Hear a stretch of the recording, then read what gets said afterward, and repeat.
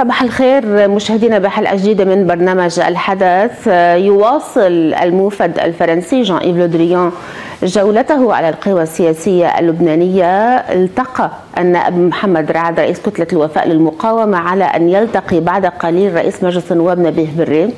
وإن كانت جولة لودريان هذه لا تحمل أي جديد إلا أن البعض يقرأ فيها على أنها جولة ختامية لتقديم تقرير عن الوضع اللبناني من الفرنسيين على أن يناقش على طاولة قمة باريس الأسبوع المقبل أو في السابع من حزيران بين فريقي الرئيس الأمريكي جو بايدن والرئيس الفرنسي إيمانويل ماكرون. كيف يبدو هذا التقرير اللبناني؟ إلى أي مدى هناك تشاؤم في الوصول إلى رئيس للجمهورية يفتتح مفاوضات الحدود؟ هل هناك فصل بين الرئاسة والحدود؟ كل هذه العناوين اليوم رح نناقشها مع ضيفي النائب فيصل الصايغ. صباح الخير عضو كتلة اللقاء الديمقراطي صباح الخير وأهلا وسهلا فيك. يعني بداية معك نحن صار لنا يعني هيك أربعة أيام جمعة عم نحكي بالحلقة. من وقتها لهلأ صار في كتير أشياء. يعني بدي أحكي معك أول شيء بزيارتك على واشنطن من حوالي عشرة أيام. بدي أحكي معك بزيارة لودريان امبارح التقى رئيس الحزب التقدم الاشتراكي وليد جنبلاط. وبدي أحكي معك بكمان زيارة جنبلاط إلى قطر. بداية من الأجدد امبارح شو حمل لودريان؟ لا واضح من من زيارته يعني نحن اليوم عندنا اجتماع للقاء الديمقراطي وراح ندخل بتفاصيل تقييم زيارة الأستاذ لودريان إلى لبنان وعمل الخماسية والتعامل مع الخماسية. بس واضح أنه جاي مثل ما قلتي بالمقدمة صحيح أنه انه اليوم في قمة أمريكية فرنسية بالأسبوع المقبل فالجانب الفرنسي عم بيحضر ولبنان على الطاولة بسبب ما يحصل نعم. في الجنوب بسبب ما يحصل في في فلسطين وبسبب الفراغ الرئاسي لبنان رح يكون جزء من المحادثات الأمريكية الفرنسية وبالتالي الجانبين بدهم معلومات إنه وين صرنا بكل نقطة من هذه النقاط فلودريون اجى ليستجمع الخطوات لأنه هو مكلف من الرئيس الفرنسي بالذات بالملف الرئاسي والسفيرة الأمريكية ستذهب أو ذهبت إلى واشنطن كمان في اجتماع موسع للسفراء كمان لإفادة الجانب الأمريكي عن رأيهم بما يحصل بموضوع الرئاسي والجنوب نعم. هلأ إذا فينا نقسم شوي المواضيع صار واضح إنه لبنان يعني مثل ما لودريون مهتم أكثر بموضوع الرئاسي عبر الخماسية السيد هوكستاين مهتم أكثر بموضوع الأمن في الجنوب. نعم. يعني نحن أمام ثلاث ملفات في المنطقة ملف غزة والجرائم التي ترتكبها إسرائيل بحق الشعب الفلسطيني في غزة. هذه حرب حرب الجنوب اللي هي صارت أشبه بحرب وإن كانت محدودة والرئاسي يعني فيها ثلاث ملفات. بال بالواضح إنه صار في قبول دولي لربط التصعيد في الجنوب صاروا مقتنعين إنه ما في تهدئة في الجنوب قبل ما تنتهي الأعمال الجرائمية في في غزة. وإنما في المستجد بهذا الشهر بالذات أو الشهر ونص هو محاولة لفصل الرئاسي عن الجنوب وغزة إنه طيب نعم. أنتم اليوم أمام حرب الجنوب وبغزة شو بيمنعكم إذا إذا بكرة الأمور تصاعدت لا سمح الله إلى مم. حرب مفتوحة طيب ما بدكم رئيس وحكومه ليتعاملوا مع الواقع الإنساني الاجتماعي نعم. ليحكي مع الدول لإيقاف الحرب ولخلق تصوير إذا الأمور نجحت مسعى هوكستاين والرئيس بري نجح ب بالوصول إلى تفاهم حول الأمن المستدام في الجنوب طب ما بدكم رئيس يوقع يعني هذا حل دبلوماسي كبير في تحديد نقاط الحدود في في نشر للجيش في عدة خطوات بدها رئيس حكومة. وفي حال صار مؤتمر دولي النقطة الثالثة مؤتمر دولي إقليمي للسلام ما بعد يحصل في غزة بموضوع الفلسطيني. كمان ما بدكم تكونوا قاعدين على الطاولة كلبنانيين برئيسكم. طب ما يكون الأمور على حسابكم.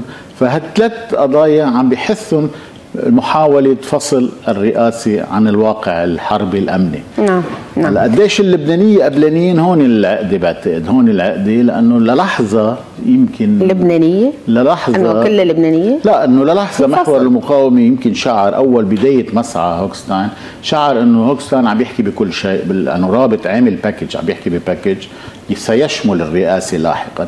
تبين خلال هذا الشهر أنه لا رجع موضوع الأمن على الحدود والربط ضله مربوط بالسيد هوكستاين وعبر الرئيس بري هو المفوض ولكن الملف الرئاسي الملف الرئاسي انتقل بتحس بتشعري بالأوساط الأمريكية انتقل إلى وزارة الخارجيه إلى بربرا السفارة و والخماسية. والخماسية. في تفاهم على هذا الموضوع. يعني بفهم منك عم بتقول أنه عندما شعر حزب الله من آه، السيد أموس هوكستين بأنه آه، الملفين آه، ممكن يكونوا مرتبطين بوقتها كانت يعني غرد خارج السرب. هوكستين يعني خارج السرب إرادة كان أكثر تجاوبا يعني. حزب الله صحيح. كان الحزب يقول أو قال الأمين العام لحزب الله السيد نصر الله طلع قال بخطاب يعني علني بأنه نحن نفصل الرئاسة عن الحدود لأنه كان وقتها هوكستين قايل لهم أنه هذا package ولكن عندما فصلت الإدارة الأمريكية الملفات عاد وربط الملفين من الإدارة الأمريكية؟ هلا ما بعرف شو كان قصده سماحة السيد بس أنا إنه ما ما فقط الإدارة في تفاهم يعني صار في تواصل فرنسي أمريكي سعودي بهذا الموضوع. نعم. وصار في مثل قناعة دولية إنه إذا كنا لا نستطيع فصل آه، حرب الجنوب عن حرب غزة أقله خلينا نفصل الرئاسي. نعم هذا حصل.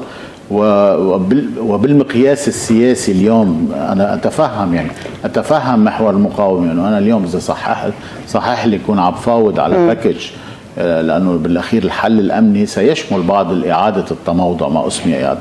أنا هذه اعاده التموضع اللي قد تبدو نوعا ما تراجع. اذا نعم. إذا ما قبيله ربحت موقع كرئاسة الجمهوريه أو كنت اللي عندي اليد العليا بموضوع رئاسة الجمهورية. أكيد أفضل لك بالبعد السياسي كفريق يعني سياسي.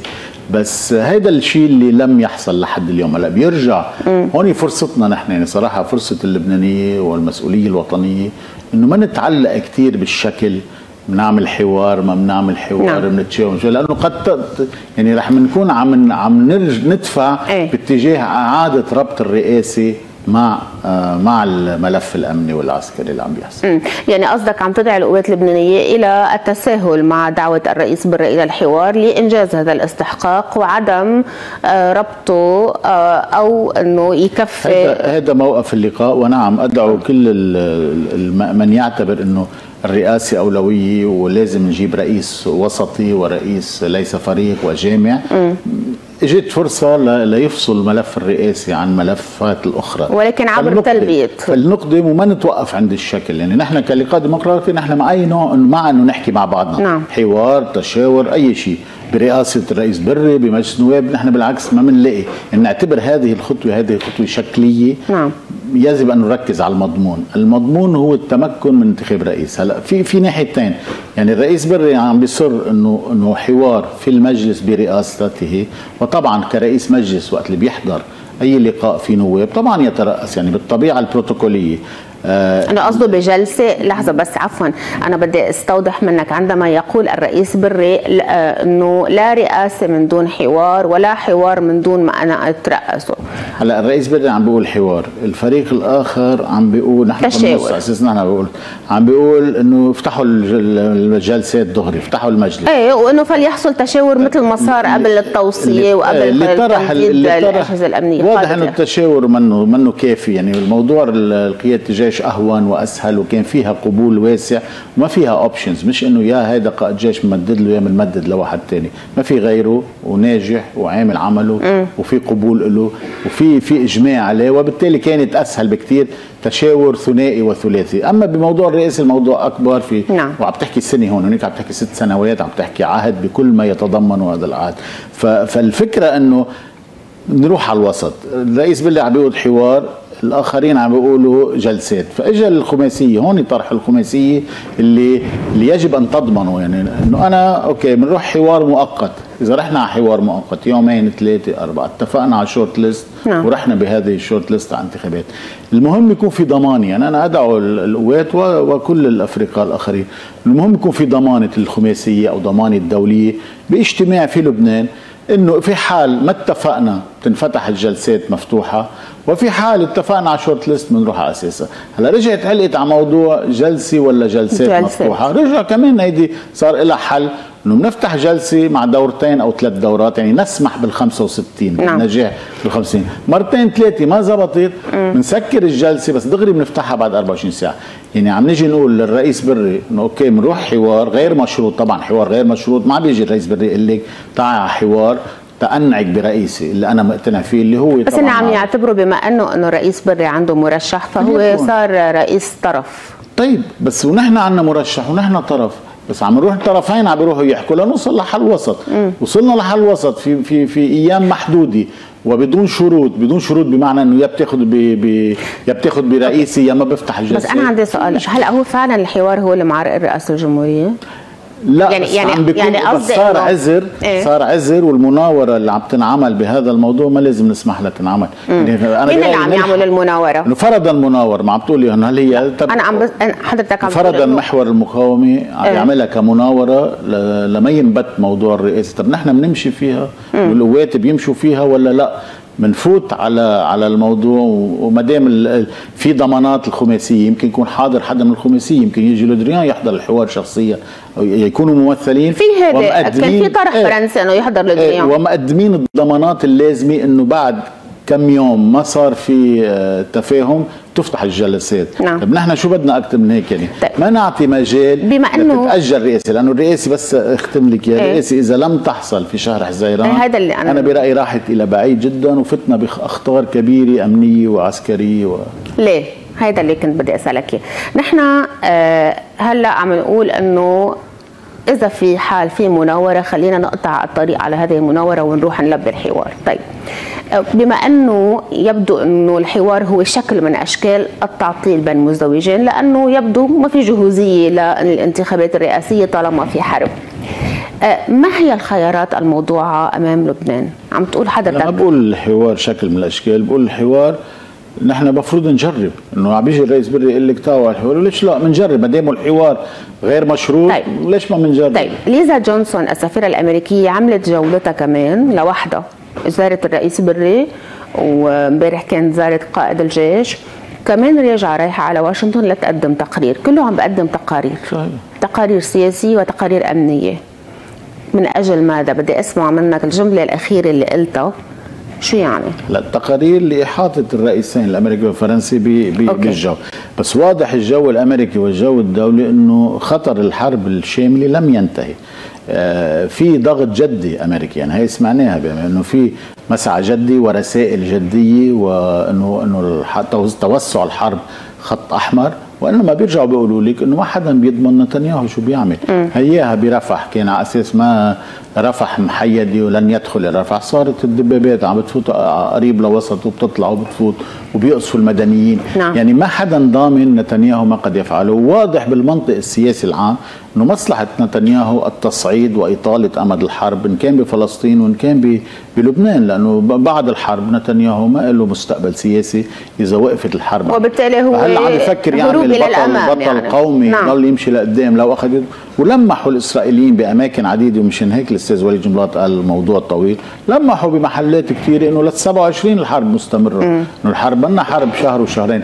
مين كان يتصور ب 7 أو 8 أكتوبر إنه بعد 8 أشهر بعدنا بعد نحن بعدنا بنص يعني. لا الاستامينا النفس الإسرائيلي صار له زمان الإسرائيلي ما خاض حروب ما خاض بحياته حروب هالقد طويلة بالمدة وهالقد مكلفة بالعسكر. ففي شيء تغير بهذا العالم يمكن مع الحرب الروسية. مين كان بيتخيل روسيا الدولة العظمى بتاخذ ثلاث سنين وبعد ما خلصت حربها مع أوكرانيا؟ في شيء جديد و... والرأي العام رغم كل المجازر المؤسفة والجرائم اللي عم تحصل خلص العين الناس للأسف عين العالم تعودت على الدمار وعلى الجرائم إن كان بأوكرانيا إن كان بسوريا إن كان بالصومال وبالسودان وهلأ بغزة. يعني للأسف صاير الإنسان يعني بلشت تفتحي محطات تلفزيونات رجعوا على الفوتبول وعلى الرياضة وعلى يعني مؤسف نعم. اللي عم بيصير ومفتوحة على كل الاحتمالات. ولبنان بخطر. نعم لبنان ما بعد يعني عنا برأيي هذا الشهر لب... لمحاولة آه، لأنه الأمريكاني شو بيقول لك؟ الأمريكاني بيحكي معك يا إذا له مصلحة يا إفادة يا بتضري. نعم. إذا لا بتفيدي ولا بتضري ما بيحكي معك. فبيقولوا لك الأمريكان إذا في رئيس معناتها في مؤسسات معناتها في إفادة نحكي نحن وياكم. أو نعم. إذا في حرب معناتها في ضرر في افاده نهتم باللبنان غير هيك لن نهتم. فأنا برأيي بعد هالمسعى مسعى محاولة امرار الرئيس إذا لم تحصل رح يكون في إهمال أمريكي للبنان. سيدخل الامريكي بانتخاباته الرئاسية. ورح نصير متروكين للأطماع الإسرائيلية بهذه المرحلة. نعم. وبالتالي هلأ هذه هي الفرصة الأخيرة يلي عم بتصير على الأرض اللبنانية بالمشهد السياسي عبر الخماسية وعبر لودريان وعبر ليزا جونسون. آه، لا انتخاب رئيس من هلأ لتموز وإلا فنحن آه، ذاهبون إلى خيارات قد تكون آه، أكثر دموية يعني. احتمالات مفتوحة بس واضح الإشارات كلها واضحة إنه إنه إنه ما في حدا يحكوا معه. يعني الدول المهتمة بلبنان ما نعم. في رئيس تحكي معه. معناتها متروكين للأطماع الإسرائيلية. إسرائيل بدها ترجع سكانها على الحدود آه وبدها تخلص من ملف التصعيد بشمال بشمال فلسطين. وبالتالي كل الاحتمالات مفتوحة. هلا بتقولي لي الإسرائيلي منه منه عتلان هم إنه حزب الله رح يأذي حزب الله بيأذي أكثر من غزة. بس ما هي مشكلة الحروب تحصل لما بتسيئي تقدير خصمك. يعني أنا أنا برايي بدنا ننتبه لشغلة إنه من أيمتى كان يموت كان يموت عسكري أو عسكري اثنين إسرائيلية تقوم القيامه، طب اليوم صار ميت فوق ال 1500 عسكري نعم. بحرب. ما نهز المجتمع الإسرائيلي، بتعملي إحصاءات بيقولوا لك 65 70% مع الحرب. مع الحرب. يعني في شيء تغير؟ بدنا ننتبه لهالناحية إنه الإسرائيلي لا ما عم بيحسب خسائر. انه شو ما مستعد ليدفع خسائر. ما بيحسب لا خسائر مستعد معتبرها حرب وجودية. وشو ما بدها تكلف. وفي على رأس الحكومة الإسرائيلية شخص هذه حربه. إذا أنا بعد هذه الحرب ما لي مستقبل بل مستقبلي قد يكون السجن. فيا بطلع منا بطل قومي أنقذت إسرائيل من من الدمار.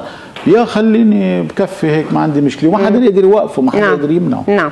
طيب ونحن شو رح نعمل كلبنانيين؟ يعني أنتم بعرف إنه بيكون في تواصل خصوصا يعني آه وليد جملات اللقاء الديمقراطي دائما كان بالوسط بحاول إنه يتواصل مع الكل. فانتم آه، بتتواصلوا مع الحزب. شو جو الحزب آه أمام هذا المشهد؟ هلا أكيد آه، يعني لماذا يتمسك الحزب بربط الرئاسة أولا بالحدود. هلا هيدي التخمين عم نخمنه صراحة أنا وياك بس إنه إنه طبيعي من أي فريق سياسي أنا اليوم لما أكون عندي عدة ملفات عم بتعاطى معه م. في أحد الملفات عندي اليد العليا فيها بهمني أحكي بكل شيء. يعني أي فريق سياسي كان يمكن بيعمل بيعمل الشيء ذاته. بس وين بس في نافذة يعني نحن كمان الحزب ما عم يجي يفرض عليك هذا الموضوع. الرئيس بري بتواصل مع الحزب فتح لك نافذه طيب خلينا ندخل بهذه النافذه إنه ليه خايفين إنه نحكي مع بعضنا. نعم. كما دام هذا الحكي مع بعضنا لا يفرض على حدا شيء. أكثر شيء فيك تضلك هالثلاث أيام شو ما يقول لك شو ما يقول قولي له لا لا لا لا لنوصل تنتهي المهله ونفتح الجلسات. إذا مم. هذا المطلوب. نعم. علما إنه الحكي مفيد لأنه إذا أي رئيس جمهورية سيقدم بالمرحلة الجاية بهمنا ينجح ما بهمنا بس ننتخب رئيس. بهمنا العهد ينجح. العهد ينجح بده بده نعم. حد واسع من القبول من جميع اللبنانيين نعم. وقبول دولي. وفي زخم اليوم. الخماسية طبعا عشنا فترة ما قبل هذا الشهر عشنا فترة بعض الانقسامات. للأسف نجحوا اللبنانية بالدخول وب بالتلاعب بموضوع إيه. هذا والأسماء. هلأ بعدهم؟ لا لا بهال بهالشهر الحمد لله الخماسية فاتوا أكدوا من البداية موحدين موقفهم. ببيانهم الأخير كان ممتاز أشاروا إلى مهل يمكن قالوا آخر أيار بدهم اللبنانيين بس معناتها أشاروا إلى مهلة أشاروا إلى إلى المواصفات الواضحة آه لم يدخلوا بأسماء لن ندخل بأسماء وحكوا بتشاور تشاور ينم عن حوار نعم. يعني ما عندهم مشكلة يعني حرام اللبنانيه يعني ما شايفين شو عم بيصير بالناس شو عم بيصير بالجنوب شو عم بيصير بالاقتصاد طيب. بالهذا إنه بتحرز شكلية نربطها بالدستور. وين الدستور اليوم؟ ك... وين الدستور من تمديد لمجلس للمجالس البلدية؟ وين الدستور من القط... من الموازنة والقطاع بس أنتم مش رأيكم. الحساب. وين؟ يعني دغري بنربط الموضوع بعنوان كبير بس دستوري. يا أستاذ فيصل بس أنتم مش رأيكم إنه اليوم ربط رئاسة الجمهورية في كل استحقاق بحوار آه بيعملوا رئيس مجلس النواب الشيعي عم بحكي بمنطق القوات. مش هو تكريس إذا بدك لعرف دستوري. لا, آه لا, لا. آه هو يخالف الدستور لا ويخالف مع حوار في كل استحقاق رئاسي بس ما هيك عم بيصير. إنما هذه المرة للأسف نتائج الانتخابية يعني لو معنا 86 نائب نحن اللي عم نرفض نحكي مع الآخر. لو معنا 86 نائب والثلثين بنروح على مجلس النواب بنفتح وبننتخب وما بنسال عن حدا. بس نتيجة الانتخابات النيابية الاخيره حتى تعمل هيك. لا إنه إذا عندي لا لا لو عندك 86 فيكي إنه عندك الثلثين فيك في نصاب. يعني مشكلة الرئاسه اي بس انه لا قصدي إنه بواقعية سياسيه فيك تنتخب رئيس ضد حزب الله. نو مش عم ما بيكون ساعات ضد حزب الله يعني ما راح يكونوا 86 ضد بس. بس انت لو عندك 86 متفقين على اسم قصدي. إنه ما في لزوم لا نحكي ولا نتشاور بس بس نتيجة الانتخابات نعم. الأخيرة ما أتت ما حدا قادر يعمل نصاب التلتين لياخذ رئيس له. شو معناتها؟ يعني وصلنا ل deadlock بدنا نحكي مع بعضنا. هلا هذا الحكي يكون تشاور يكون shuttle diplomacy نعم. diplomacy يروح بيناتنا. طيب. يكون هذا شكل المهم المضمون. المضمون شو عم بيقول؟ وموافق عليه الرئيس بري. عدد أيام محددة بدون شروط إنه تعالوا تنتخبوا لي رئيسي. أنا عندي عندي مرشحي طب حقه يكون عندي مرشح. ونحن عندنا مرشحنا حقنا يكون عندنا مرشح. تعالوا لنحكي. وصلنا لنتيجة short list نفوت فيها على الانتخابات. نعم. بيكون عظيم. لأنه ساعتها هذه ال short list وإذا توافقنا على رئيس بيكون عظيم. وعظيم. وإذا لم نتوافق خلينا نمشي على اللي بدكم إياه. وخلي يجي رئيس. إذا اجى رئيس ساعتها أيضا يعني بشك إنه حتى لو ما تفاهمنا حتى لو ما تفاهمنا حتى لودريان صار الجلسه رح نتفاهم لأنه بالأخير بدك رئيس يقدر يعمل حكومه بسرعة صح. يعمل برنامج إنقاذي اقتصادي طيب. مع ال IMF بسرعة هلا اللي عم بيقوله الرئيس بري عن الحوار بما إنه أنتم بتعرفوا هو آه، حوار في مجلس النواب ولا على طاولة مستديرة؟ في, في مجلس النواب. ليه مستحيين ما نحن نواب شو هالمشكلة؟ إيه بعد شغلة هلا آه، في المعايير يلي عم بجمعها لودريان بما إنه امبارح شفتوه وعم بيشوف الكل واصلا صارت المعايير معروفة يلي هو أصلا جمعها من القوى السياسية بالمرة السابقة.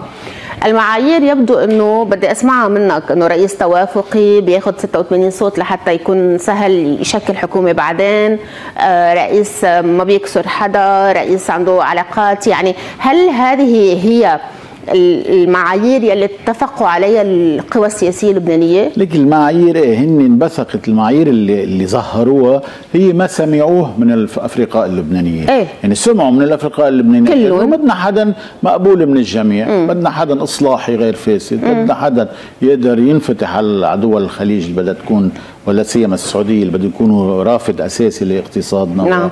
لواقعنا الجديد ويكون قادر يتعاطى مع دول العالم ويشرف على تطبيق القرارات الدولية. لا سيما 1701 نعم. ف, ف يعني واضحه واضحه الطر يعني نحن أمام إنه المعايير واضحة. يعني الرئيس الرئيس المطلوب. يعني عندك إذا بدنا نقول ثلاث أقانيم ثلاثة بيلرز بيقولوا له عواميد اللي بده يهدوا هذا السقف. العمود الداخلي اللي هو اتفاق الطائف يعني رئيس مؤمن أو مقتنع باتفاق الطائف وعليه توافق لحتى يقدر يحكم. اتفاق الطائف سنة التسعين الطائف يقول بيقول توافق بيقول شراكه بيقول كل هالأشياء.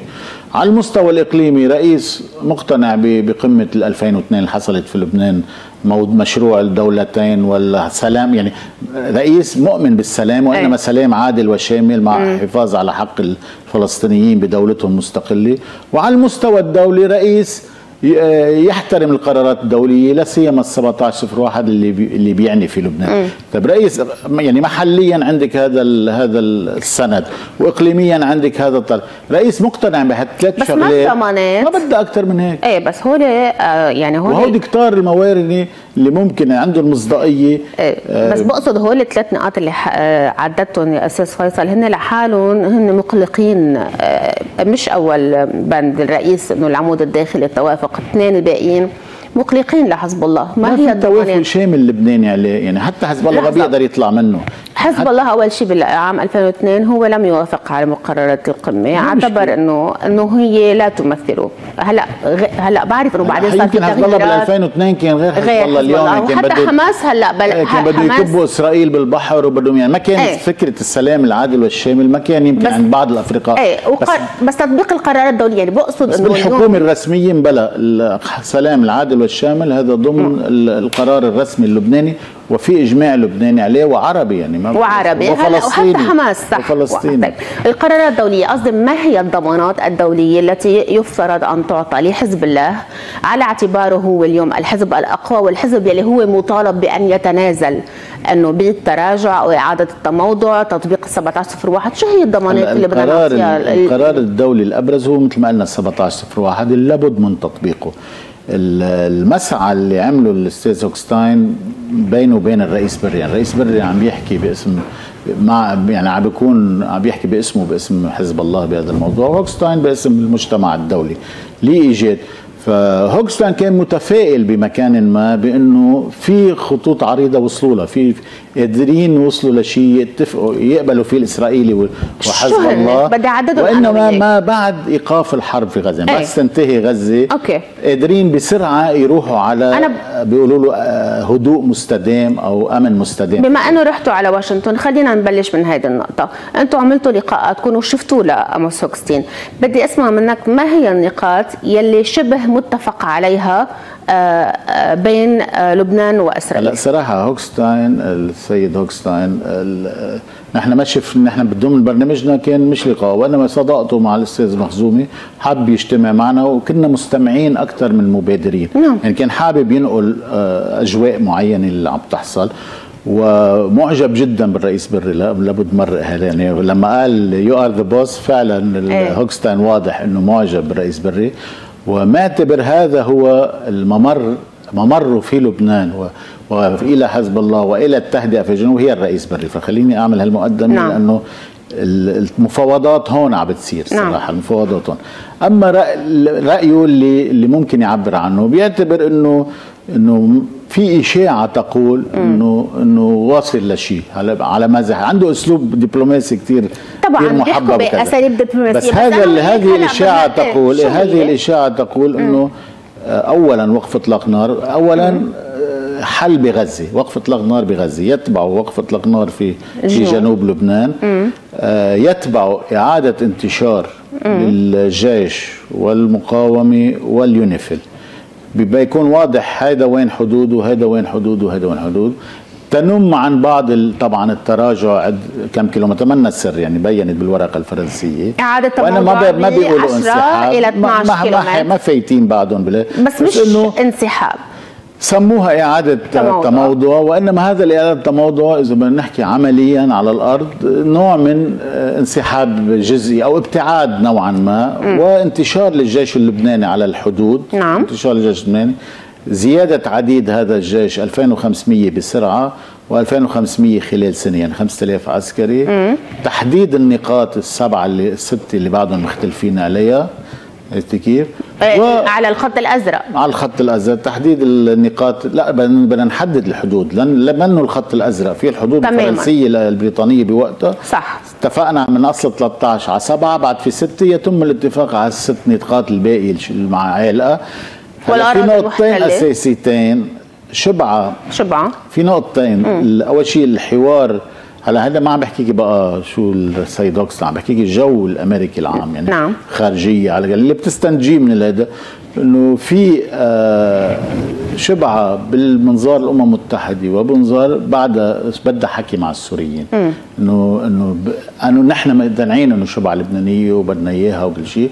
بس الحكي هونيك بيقول لك بدكم تحكوا مع السوريين. قبل ما يجي السوري على الطاولة خلينا نحط شبعه على جنب. مشان هيك عم بيقولوا لك خلينا نحط شبعه على جنب لأنه نعم. هذا بده حكي مع السوريين مع السوريين. ليه بده حكي مع السوريين؟ طالما لبنان طالما لبنان قدم أوراق إلى الأمم المتحدة تثبت آه لبنانية السؤال أنا سألته مباشر بالأمم المتحدة نعم. المندوب اللي كانت معنا. خرايط عندهم خرايط قبل ال 66 إنه شبعة لبنانية لبنان بعت لهم خرايط لبنانية. بعد ال 67 وصلتهم خرايط جديدة من لبنان ما بعرف كيف وما بعرف ليش. بتقول إنه شبعة غير لبنانية. السوري مصر إنه إنه شبعة آه واحتلال فرشوبه سورية. فبدها حكي رغم كل اللي انقال. كيف السوري مصر؟ ما السوري رفض يعطي بالأمم المتحدة اللي وصل لهم للامريكان للأمم المتحدة إنه السوري لا بعده متمسك فيها. يعني رح يبيع ببلاش يعني. فبدها حكي لبناني سوري بهذا الموضوع. ونحن بذكر أنا بال 2006 نعم. بطاولة الحوار بال 2006 وقتها أقرينا وقتها كان بعز خلافاتنا. يا محلى اليوم يعني ب 2006 كان آه، في قتل وضرب وقدرنا وصلنا لتفاهم إنه تحديد الحدود مع سوريا. والحكي مع السوريين بموضوع شبعة. مزارع شبعة وتلال فرشوبة طيب. وحكينا باستراتيجية دفاعية. يعني عم نحكي بال 2006 كل هالامور إن خلافنا أقوى من اليوم وقدرنا حكينا فيهم على طاولة عم بتقول إنه الجو الأمريكي بالإدارة الأمريكية الجو الامريكي التطبيق. انه شبعا اتركوها على جنب لأنه السوريين لا يدخل السوري على الطاولة. لا, لا يقعد على الطاولة السوري. وبدنا نحلها معه و... اتركوها على جنب. شو اتركوها على جنب. يعني في قوات أمم متحدة بدها لا لا لا بعد ال UNDOF هونيك في القوات الامم المتحده اللي تابعه لجولان موجودة okay. بس بمعنى إنه ما ضروري نعطل التهدئه بس بده ينسحب الإسرائيلي منه هيدا ما هقول لك هيدا حديث يا, يا آخر مم. يعني يعني في ينسحب الإسرائيلي منه ويضلوا القوات الدولية فيه إذا إذا بينسحب ما راح ينسحب بدون ثمن يعني بس المعنى إنه نعم. ما ضروري شبعة تعطل التهدئة المستدامة نعم. في الجنوب يعني فينا نعمل تهدئة مستدامة مثل ما عملنا بال 2006 بدون ما يكون بدون ما يكون انحلت. إيه بدون ما تكون انحلت شبعة بنحلها لاحقا. حتى ال 1701 الغجر. حتى ال 1701 حله يكون ليس فوري تطبيقه منه فوري. إنه خلي يكون التطبيق على مراحل. على مراحل. عرفت كيف؟ على مراحل. يعني أول. شيء وقف اطلاق النار بعدين إعادة تموضع بعدين آه، شو بصير؟ بعدين تحديد الحدود تحديد الخلافية الحدود الخلافية. وتعزيز الجيش. والتحديد هلا الغجر في جزء واضح لبناني هذا ما في عليه إشكال في جزء جزء. تمددوا عليه سكانيا هذا لبلدة الماري. إيه بيلتقى له حل يعني شو بعده يعني معترف بيلتقى له حال؟ إنه بعده معترف إنه لبناني لبناني شو يعني. بيلتقى له حال يعني بتنسحب إسرائيل من إيه. المنطقة التي امتدت إليها. الغجر لل... يعني الماري بتنسحب بعتقد هيدي. ما ما سمعتها بس- ما بنحكى فيها لأنه بعتقد الأهالي. هونيك شو ما بدهم بس ما عند ما بعرف عم بيقولوا. بدهم يضلوا ما بدهم يضلوا إسرائيليين سوريين قد يرجعوا اسرائيليين سوريين هيك ما بدهم يكونوا سمعت. لبنانيين. هيك سمعت هن هن- بس هن سمعت مش- إنه باعتين حتى رسائل لسوريا بس هن. لبنانيين هن منهم لا لبنانيين سوريين بس. تمددوا عمرانيا بيسوى يتعوضوا بعمرانيا يرجع يتعوضوا بمناطق اللي بالحدود التابعه لسوريا يعني بين يعني بيشيلوا المواطنين يلي سوليدار أو اليسار بتنقليهم لهون يعني بيشيلوا المواطنين يلي امتدوا إلى بلدة الماري اللي هن من أصل سوري ولكن حاصلين على جنسية إسرائيلية بيشيلوهم بينقلوهم للغجر وبيحرروا الأرض اللبنانية اللي هي هيدي هيدي. بيقدروا هيدي بيقدروا. أما هؤلاء فبتصير آه، قصتهم بينهم وبين بين إسرائيل وسوريا سوريا لأنه هيدي حتما سوريا يعني محسومة إنه سوريا, سوريا. غير شبعه نعم. وانما وإنما منه مطروح هلا يعني عم بيحاولوا يسهل يعني هوكشتاين عم بيحاول مع الرئيس بري يسهل يعمل بيقولوا لها baby steps خطوات صغيرة. نقدر نوصل لنتيجه لأنه الإسرائيلي معلي بده يضل يطلع بالجو اللبناني الإسرائيلي ما نعم. ما موافق يوقف الطلعات الجوية الجو- تماماً، هيدا اللي بدي ما. موافق يطلع الطلعات الجوية وهيدا خرق لل 1701 وبالتالي ما في يدعي حدا إنه طبقنا ال 1701 وحزب الله ما راح يطبق كمان البنود ال 15 59 وكذا المطلعات كل ما هي إسرائيل عم تطلع نعم. فهو حل براغماتي حل بيعمل تهدئة بانتظار شو المؤتمر الدولي المرتقب أو المؤتمر الدولي الإقليمي حول المرتقب فلسطين. حول حول منطقة الشرق الأوسط اللي اللي في شيء بعد سعودي فيه عم بيعمل اتفاقات مع أمريكا استراتيجية أمنية. هذه البع... هذا المؤتمر إذا اراح المنطقة صار فيك تحكي مع حزب الله باستراتيجية دفاعية وصار فيك تحكي مع نعم. اسرائيل بوقف الطلعات فوق لبنان بس نعم. هذه مرحلة لاحقة من بمرحلة لاحقة طب اسمح لي لأنه أستاذ قاسم قصير ناطرنا آه، صباح الخير ما تواخذني نطرناك بس أنا كنت حابة كنت حابه إنك تسمعه. بس أنا كنت قاصدة إنه تسمع النائب فيصل الصايغ. حياتنا للاستاذ حياتنا له واللي سمعناه كثير مهم يعني أستاذ فيصل. أستاذ قاسم قصير اليوم اللودريان راح لعند زار يعني حزب الله والتقى بالنائب محمد رعد. اللقاءات عم بتكون سريعة جدا. في كلام إنه كان اللقاء دام يمكن ست سبع دقائق. ما بعرف إذا رح يوصل لك شيء خبر ولكن آه، اليوم هيك بالتقييم العام آه، آه، نحن أمام خيار آه، مصيري يبدو بين مزدوجين. يا أما انتخاب رئيس والدخول في مفاوضات في حزيران وتموز يا أما الجميع يتحدث عن تصعيد امني كبير في لبنان. بدي أسمع رأيك لو سمحت. يعني هلا طبعا كل المعلومات عن زيارة لودريان وهي زيارة حتى إستطلاعية وليست ليس لدى لودريان وجهة نظر معينة أو معلومات معينة، هلا بالنسبة للتخويف بالحرب أو بالتصعيد الأمني بالضغط لانتخاب رئيس ما بعتقد هذا مفيد.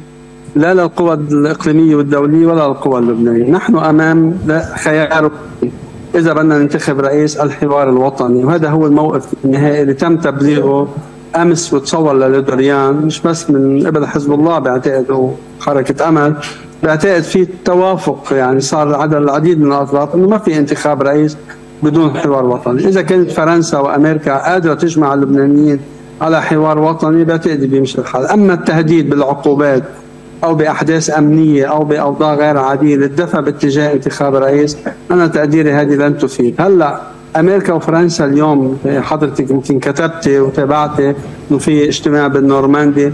نعم. الظروف اليوم ليست كما هي ظروف 2004 و2005 عندما صدر القرار 1559 وصار اغتيال الرئيس حريري. إلا إذا لا سمح الله صار في تطورات بالمنطقة كلها بتغير مسار المنطقة. نحن أمام وضع بغزة. حتى الآن رغم كل الجهود للوصول إلى وقف إطلاق نار لم يتم الوقف إطلاق النار والأوضاع محفوفة بالمخاطر. هلأ هيدي لبنان كيما هو نصيبه منها ما بعرف يعني حقيقة حتى الآن حزب الله حريص على عدم الذهاب إلى حرب واسعة وشاملة وعم يعمل أداء ميداني نعم. يعني تصعيدي بشكل متدرج لكن لا أحد يريد تفجير الوضع. هلأ فرنسا وأمريكا هل يستطيعان الضغط على الأطراف المحلية للحوار هذا هو الطريق الأسهل والأسرع أما العقوبات أو التهديد بمخاطر أمنية يعني برايي سيكون نعم. انعكاساته أكثر من عدم وجود رئيس جمهوريه يعني أستاذ قاسم آه، حزب الله اليوم مستعد أن يفصل بين الرئاسة والحدود يعني أنا بعطيك معلومات من قيادات بحزب الله إيه؟ بلقاءات خاصة نحن جاهزين اليوم قبل بكرة لأي اتفاق حول رئاسة الجمهورية من دون أن ننتظر نهاية الحرب بغزة. بس بدك الطرف الآخر. أحد المسؤولين الكبار بحزب الله قال كيف أنا أذهب إلى انتخاب رئيس جمهورية؟ نعم. وفي مين يريد أن ينتخب رئيس جمهورية لمواجهة حزب الله؟ يعني ما عندهم استعداد لإصدار مواقف للدفع باتجاه التسوية. هم يريدون رئيس جمهورية يواجه حزب الله حسب ما قال الدكتور جعجع امبارح إنه إذا بده يعمل حوار بده يعمل حوار حرب 1901 بال 1701 الآن أصلا أمريكا وفرنسا مش جاهزين للحوار حوله مثل ما قال الأستاذ آه، أستاذ نعم. صاير. إنه أمريكا حتى عم بتحضر لما بعد حرب غزة. كيف بدي أروح أنا على اتفاق 1901 والحرب مستمرة؟ إذا ما عندهم استعداد للحوار كيف بدهم ينتخبوا رئيس؟ اني ما بعرف. يعني هل يستطيع الدكتور نعم. جعجع وبالتالي أنا إيه بالتالي أنا بس ب... يعني اللي بيهمني إنه في موقف واضح من الحزب عم تنقله حضرتك إنه هن مستعدين للذهاب إلى انتخاب رئيس جمهورية بغض النظر عن الحدود معركة حسب الحدود. معلوماتي وأنا سمعتها من المسؤولين بحزب الله. سمعتها من ورئيس بري نفس الشيء رئيس بري نفس الشيء نعم. نحن بس شرط أن يكون هذا الرئيس إنه يكون في حوار وطني حوار حوله توافق حوله ليه يعني الحصول على ضمانات داخلية وخارجية؟ هيك. صحيح صحيح. طيب آه أستاذ قاسم بدك تقول شيء؟ أنا بس بدي أكد على شغله آه من يراهن على استخدام سياسة العقوبات أو قرارات على أثر اجتماع القمة الأمريكي الفرنسي قرارات تشبه بحدتها وبحسمها تشبه ال 59 نعم. بيكون واهم.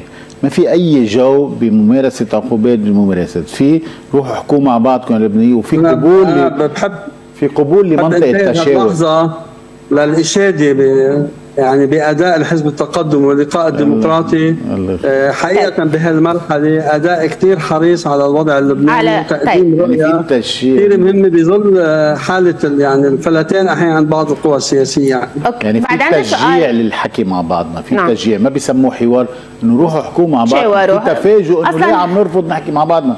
و... و... أصلاً وبالأخير مجبورين نحكي مع بعضنا مثل ما قلنا ما في قوة قادرة توصل بدنا نحكي مع بعض نوصل لرئيس وسطي بي. نعم عندي سؤال لو سمحت هو خارج قصة الرئاسة بس قرأنا يعني ببعض هيك الصحف أو بعض المعلومات ما بعرف قديش أكيد منها إنه اليوم إعادة أعمار الجنوب هل يمكن أن تكون مطروحة من الحشد الشعب العراقي أو من العراق أو من إيران في هيك طرح؟ هلا أنا أي موضوع هلا موضوع الإعمار رئيس بري بلش حراك وحزب الله عم يدرس لكن موضوع الإعمار مش مطروح من جهة محددة. أنا برأيي رح يصير في تشكيل صندوق لبناني ويمكن يكون له بعد عربي ودولي لإعمار الجنوب. وقد يكون هذا جزء من المسار اللي عم يحكي عنه الأستاذ فيصل في حال تم وقف حرب غزة. نعم. لكن ما في مجال اليوم البدء طبعا موضوع التضامن مع الجنوب مش تضامن عراقي. أنا برأيي رح يصير تضامن عربي ودولي. ويمكن هن يجوا يقدموا لنا مساعدات. أنا برأيي بطبيعة اليوم هلأ في مساعدات عم تجي من العراق ومن غير العراق لدعم النازحين دعم الفقراء ودعم هذا طبيعي. هذا مش من الحشد الشعبي. يعني من المرجعية الدينية. وهذا واجب أصلا بكل تاريخ الجنوب. المرجعية الدينية الشيعية أو السنية كانت عم تدعم. نعم. أنا بحرب تموز بحرب تموز معلومة خاصة لك هيدي. آه، أحد القيادات بالحركة الإسلامية تلقى دعم لحزب الله من دوله من جهات خليجية. آه، رجال أعمال خليجيين بال 2006 طبعا اليوم اختلفت الظروف. نعم. أرسل أموال لحزب الله للمقاومة. نعم. هذا أنا برايي اليوم الوضع مش محصور بالعراق ولا بالحشد الشعبي. كل حدا مؤمن بهالقضية بعتقد ممكن يقدم مساعدة بس بتوقف الحرب. شكرا لك. طبعا بإعادة الأعمار من دون من دون ما تتوقف الحرب. شكرا لك. ويعني بفهم منك إنه هذا الموقف يعني هذا الموقف يا أستاذ قاسم هو هلأ اللي بلغه النائب محمد رعد اللودريان يعني اليوم حزب الله مستعد أن يذهب إلى رئاسة الجمهوريه ما سمعت سؤال محمد رعد. ما عرفت يعني ما صح لي. بس على الأقل أنا سامع من قيادي بارز بحزب الله. نعم. نحن جاهزون لانتخاب رئيس. بدون علاقة بحرب غزة. نعم، شكرا لك أستاذ قاسم قصير، شكرا لك، أهلا وسهلا فيك، بدي أتوقف منفصل علينا. كثير تأخرنا على الفاصل وبنرجع لحوارنا. آه كثير مهم اللي قلته عن يعني مسألة 1701 والحدود، بس بدي أحكي شوي بزياره قطر كمان. ويعني وعناوين أخرى، فاصل وبنرجع.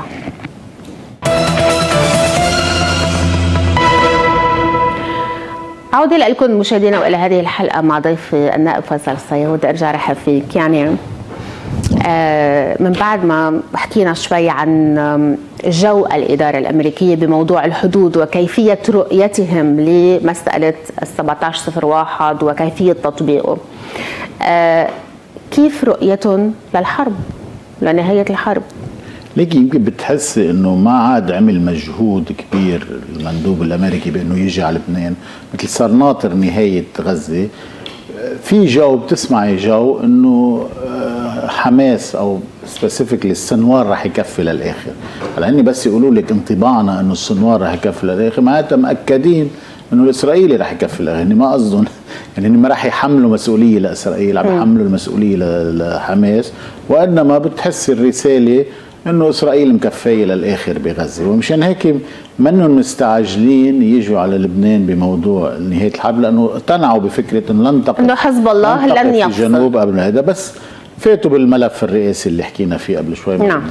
طيب كرمال هيك في كلام كان لافت جدا لوليد جنبلاط قال فيه إنه الحرب بعدها ببداياتها صحيح يعني بال هو هو شو كان يقصد؟ شو كان عم يقصد لما يقول إنه الحرب ببدايتها؟ يعني إنه إسرائيل رح تكفي على غزة. إسرائيل رح تكفي على رفح. إسرائيل رح تكفي على لبنان. شو قصدك هلا وليد بيك يعني والحزب التقدمي عاشر القضية الفلسطينية وآمن فيها وناضل لاجلها فعايشين ال ال النوايا السيئة الإسرائيلية والجرائم الإسرائيلية بحر وعارفين إنه الطموح الأمثل لإسرائيل هي تهجير الفلسطينيين وإلغاء أي احتمالية لدولة فلسطينية. يعني هدف الإسرائيلي تهجير الضفة والقطاع إذا بيطلع بإيدهم. إذا الرأي العام العالمي يحتمل هذا الشيء. أو عندهم الغطاء لهذا الشيء. نعم. مشان هيك متشائم بموضوع إنه هيك مشروع بده بده وقت كثير وبالتالي قد تطول. هلأ ما يبدو بال انه واضح إنه وإن راحت وإن الموضوع العسكري كفى للآخر وشبه خسارة عسكرية لحماس وإنما بلش يلوح في الأفق انتصار سياسي للقضية الفلسطينية. عبر الاعتراف بدولة فلسطين إيه وهون في مسؤولية وطنية كبيرة على المسؤولين الفلسطينيين من كل الأحزاب والقوى الوطنية الفلسطينية. عليهم مسؤولية إنه هالخسائر وهالتضحيات وهالجرائم اللي ارتكبت بحق شعبهم عشرات آلاف القتلى والجرحى إنه يطلعوا بنتيجة ما للقضية. ما تكون راحت سدى هالتضحيات. ويتأتى عنا اعتراف بدولة فلسطينية وبدأت بأوروبا ثلاث دول أربع دول وفي جو يعني أنا حتى ببريطانيا سمعناها كمان كنا مع الأستاذ مخزومي ببريطانيا وسمعناها بصراحة بالخارجية البريطانية أنه عم يفكروا جديا الاعتراف بالدولة الفلسطينية قبل تحقيقها مثل ما صار هلا مع إسبانيا نعم. وإيرلندا وكذا إنه نعترف هذا بتكون مقدمة بتصير أمر واقع لإنهاء الحرب والاعتراف بغزة والضفة. بتصير إضاءة على مكسب سياسي ما بعد الحرب يعني. بتكوني عم تعطي إشارة للفلسطينيين ما بعد الحرب مهما, مهما كان في خسائر آه، إنسانية وخسائر عسكرية في مكسب سياسي اتي آتي في المستقبل. وبرأيي هذا جو دولي. مم. أنا برأيي لما بتبدأ دول مثل إسبانيا مثل كذا عم بتمهد لدولة مثل بريطانيا واوروبا نعم. ودول أوروبية أوسع وعم بتمهد للأمريكان لأنه حتى بأمريكا في هذا الجو نعم. إنه لابد من حل دولتين وفي اللي يدعم هذا الشيء عربيا هو الضغط السعودي نعم. خلينا خلينا نذكر إنه السعودية عم تحكي ب بتحكي بتطبيع خطة سلام. مشروط بخطة سلام مشروطة بدولة فلسطينية ومشروطة بأمن مشترك مع الأمريكان. آه اتفاقية أمنية مشترك. بس بتعتقد قبل انتهاء ولاية بايدن رح تصير هيدي؟ يعني لأنه اليوم الرئيس بايدن هو بحاجة إلى هذا الإنجاز مع المملكة العربية السعودية بالمنطقة وبالتالي هو بسبق يبدو مع قصة أنه إعلان دولة فلسطين. هل يمكن أن يحصل هذا الأمر قبل؟ هلا أكيد الإدارة الأمريكية مستقبل عم نحكي بموضوع الاتفاق السعودي الأمريكي مستعجل يلي هو واحد من شروطه إيه أعلن دولة فلسطين. عم لا هن مستعجلين. أول شيء يخلصوا الملف الأمني. إنه الدفاع المشترك بموافقة الكونغرس هي صعوبتها إنه هي بتكون ثاني دولة بعد إسرائيل آه، عاملة هيك نوع معاهدة مع اتفاقية مع أمريكا. إنه مضمونة مش إذا راح رئيس جمهورية واجى رئيس جمهورية أمريكي بيقدر يلغي بيقدر فهيدي قد تحصل قبل هذا وتمهد إلى ما بعد. أما موضوع الدولتين الاعتراف فبده وقت وإن كان للأسف الدولة الفلسطينية ما مبينة جغرافيا وين بس متى ما وجدت قانونيا وقبل القانون ده. فينا ومعنويا نرجع فينا نرجع نكونها ونوسعها ونشتغل عليها. بس آه هيدي لا بدها مؤتمر دولي للسلام بدها مؤتمر دولي بدها مؤتمر دولي. في الرياض يبدو رح يكون. بس اني إن شاء الله. آه في وقت. آه طيب. لا حتما السعودية ستلعب دور ما بعد. ليكي ما بعد آه حرب غزة. رح يقوى الدور يعني أكيد رح يكون الدور الإيراني آه، تراجع في في غزة وفي في الساحة الفلسطينية لصالح الدور السعودي, المصري والعرق المصري, المصري وحتى يعني الدور السعودي المصري عم يكبر وينمو بغزة وبلبنان بدون صراع مع إيران يعني بدون الأخير الصراع الإيراني هو مع إسرائيل اليوم نعم. بس بس هذا الفراغ ستملأ طيب. وأي فراغ الفراغ الإيراني المستجد ستملأ السعودية ومصر حتما نعم.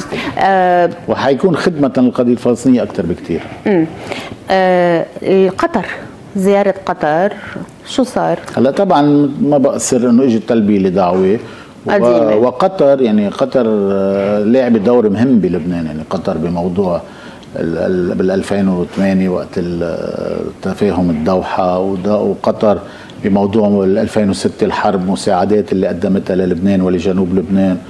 آه وقطر عم تلعب دور بالخماسيه دور أساسي في في في الموضوع الخماسيه وقطر دور أساسي في القضية الفلسطينية اللي بتعني الاستاذ وليد جملات يعني بهمه القضية الفلسطينية وبالتالي بهمه اللاعب الأبرز بموضوع وقف إطلاق النار بغزة اللي هو الجانب القطري اللي عم يلعب هذا الدور. فكان هامه أكيد أنه يحكي بالقضية الفلسطينية وقطر مستثمرة بمستقبل لبنان نعم. عبر الشراكة في الغاز والنفط. يعني صحيح. تذكر أنه أخذت مكان الروس في في ال consortium النفطي مع ال Total. صحيح. فإلها إلها ارتباط مستقبلي اقتصادي واجتماعي مع لبنان. ودورها بالخماسية كمان عم بيكون مميز. وقطر هلا مع الخماسية في تنسيق وتكامل مش في اختلاف. في تكامل و... لأنه بمرحلة ما كان في تك... كان في اختلاف بالمواقف. بدك رأيي نحن اللبنانية. نحن اللبنانية هذا شغلنا. إيه بنقسم اللي ما بيتقسم خلينا بمرق لك شغلة الخماسية إيه صارت واضحة إيه. إنه على مستوى رئاسي فرنسي الرئاسي عبر لودريان وعلى مستوى رئاسي أمريكي الأمن عبر هوكشتاين نعم. أه بدي أنتقل لريف عقيل زميلتنا في عين التيني. أه ريف يعطيك العافية صباح الخير جوزيفين لك ولضيفك ولكل المشاهدين. نحن هنا في عنيتين لمواكبة زيارة الموفد الرئاسي الفرنسي جان إيف لودريان إلى لبنان. هذه الزيارة التي كنا قد أشرنا في رسائل سابقة بأنها السادسة منذ بداية الشهور الرئاسي. هذا اللقاء جوزيفين الذي بدأ منذ قرابة الساعة الحادية عشر والربع. لا يزال مستمرا حتى هذه اللحظة على اعتبار بأن عنيتين هي مفتاح أساسي من سلسلة اللقاءات الاستطلاعية التي يعقدها يعقدها الموفد الرئاسي الفرنسي جان إيف دريان في بيروت للاطلاع على أسباب تعثر الوصول إلى رئيس الجمهورية واستعصاء عمل الخماسية مع كل الأطراف اللبنانية بعد 18 شهرا من الشهور الرئاسي. بطبيعة الحال هذه الجولة التي يستكملها لودريان صباح اليوم كان قد بدأها صباحا بلقاء مع رئيس كتلة الوفاء للمقاومة النائب محمد رعد. هذا اللقاء استمر قرابة الساعة تقريبا بعد حضر لودريان إلى هنا إلى عين التين حيث لا يزال يزال ينعقد هذا الحوار أو هذا عفوا الاجتماع مع الرئيس نبيه بري. بحسب المعطيات التي كانت قد روجت لها بعض الوسائل الاعلاميه نهار البارحة والصحف صباح اليوم حول رؤية الرئيس بري لأي طرح خارج الحوار. هو يقول بأن الحوار هو مفتاح الرئاسة ومن هذا المنطلق هو ثابت على هذه الرؤية وهو ثابت على هذا الطرح وهو لن يقبل بأي طرح آخر لا يمر بالحوار عبر مجلس النواب والذي يرأسه فقط الرئيس نبيه بري. بطبيعة الحال نحن هنا لمواكبة هذا الاجتماع وما سيرجح عن هذا اللقاء من معلومات مع أنه بحسب المعلومات حتى هذه اللحظة بعد انتهاء هذا الاجتماع سوف ينتقل لودريون إلى قصر صنوبر ليعقد اجتماع مع كتلة الاعتدال الوطني وتكتل اللقاء المستقل وكتلة تجدد ونواب مستقلين. آه هذا سيكون على طاولة الغداء في قصر صنوبر بعدها سيلتقي لودريون قرابة الساعة الثالثة حسب الكتائب اللبنانية. وسيكون هناك لقاء عند الساعة الرابعة ونصف في مع البطريرك الماروني ماربشارة بطرس الراعي وعند الخامسة والنصف مع رئيس حزب القوات اللبنانية سميين الجعجع على أن يختم لودريون لقاءاته مساء اليوم في عشاء بقصر صنوبر مع سفراء الخماسية. وبالتالي ستكون هذه الجولة هي جولة استطلاعية لبلورة مشهدية واضحة عن الرؤية السياسية وعن المسار السياسي للمرحلة المقبلة في لبنان تحديدا فيما يرتبط بالملف الرئاسي وربط هذا الملف بالتطورات الميدانية جنوبا والمخاوف الأوروبية المتصاعدة من توجه إسرائيل إلى فتح حرب مع لبنان في الأشهر القليلة المقبلة بعد الانتهاء من عملية رفح. هذه هي باختصار الأجواء هنا في عين التين بانتظار أن ينتهي هذا اللقاء بين لودريان والرئيس نبيه بري جوزيفين نعم شكرا لك زميلتنا ريف عائل. طبعا نحن رح نرافقك بكل هذه الجولة للودريان على كل المسؤولين. اللي آه رح يلتقيون بدنا نختم أنا وياك. واضح الرئيس بري دوره محوري وإن كان بموضوع الرئاسي وإن كان بموضوع الأمن في الجنوب والعمل على عدم امتداد الحرب. نعم. الرئيس بري شخصية معتدلة في محور المقاومة. وما بينكر إنه بهذا المحور وإنما هو الشخصية المعتدلة. الشخصية اللي حدودها مصلحة لبنان. يعني الرئيس بري ما رايح لا على إيران ولا على دول ثانية الرئيس بري حدوده لبنان. برأيي في فرصة نروح نحكي نحن وياه بصيغه تل يعني تحترم المؤسسات الدستورية اللبنانية. في مجلس نواب علينا مسؤولية نروح على مجلس نواب نقعد مع بعضنا نحكي. حضر الرئيس بري حتما هو رئيس المجلس وبالتالي يعني أنا بذكر نواب هلأ بس يفوت على الجلسة كلنا بنوقف لكان قاعد. يعني ما ليه إنه في بروتوكول في احترام. إذا حضر جلسة فيها كل النواب أو كل الكتل شو هالمشكلة يترأسها؟ هذه شكليات عم بتخسرنا فرصة الاتيان برئيس وسطي قريب لكل اللبنانيين مقبول دوليا وعربيا. فلنغتنم هذه الفرصة ونسكر هذه النافذة ونقعد على طاولة ما سيحصل في الإقليم وما يحصل اليوم دوليا. وما حكينا عن النازحين يكون في رئيس يواجه موضوع النازحين. وهون نحن كحزب تقدمي عملنا عملنا أفكار متعددة حول هذا الموضوع. رئيس يقدر يحكي مع الجانب نعم. السوري لتأمين نقطتين أساسيتين ضبط الحدود ومناطق آمنة لنبدأ نحل هذا الملف بشكل جدي. فعندنا عندنا هذه بدها تتشكل ما لا يكفي. بدنا رئيس بدنا عهد جديد م. يحكي بمنطق جديد بمنطق آآ آآ إيجابي مع كل هذه الدول ولنحل قضايانا ومشاكلنا.